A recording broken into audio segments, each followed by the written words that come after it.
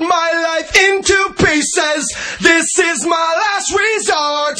Suffocation, no breathing. Don't give a fuck if I cut my arm bleeding. This is my last resort.